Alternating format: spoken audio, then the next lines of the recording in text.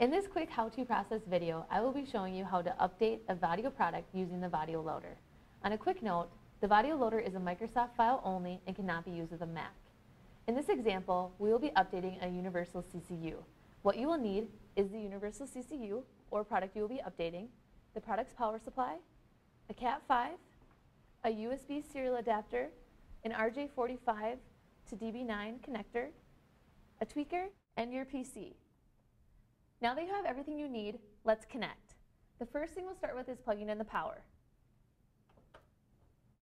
Next, we're going to connect our Cat5 into the RS-232 in on the back of the CCU. The other end of the Cat5, we're going to connect into the RJ45 adapter. The other end of the RJ45 adapter is the DB9 connected into the USB serial adapter. And the other end of that is the USB connection into the PC. Now for the updating process, the PC you are working on will have to be connected to the network. The first thing we'll do is open up a browser. Once the browser is open, type in the Vaddio website, www.vaddio.com. Once you get to the website, go into Tech Center, then to Updates. We will update the Vaddio loader first. This will now download into my desktop down below here. Next is to select the file you want to update. Keeping in mind that hex file is a right click to save link as or save target as. We will save this file to the desktop. We can now close the browser and open up the Vaddio loader on the desktop.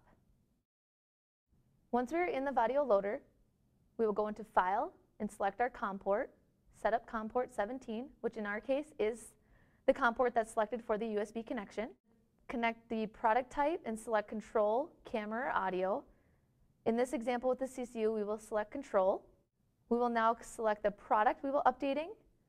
We will be going down to Quick Connect CCU2 for our product.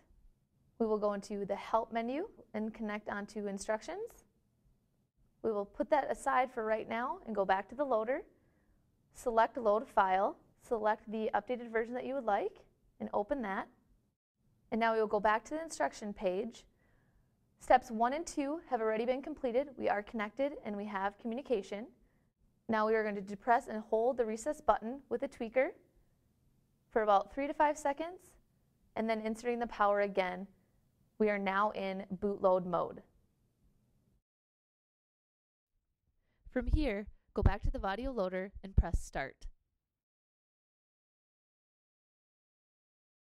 Once the upload is finished, the Vaddio loader will say load successful. You are now fully updated.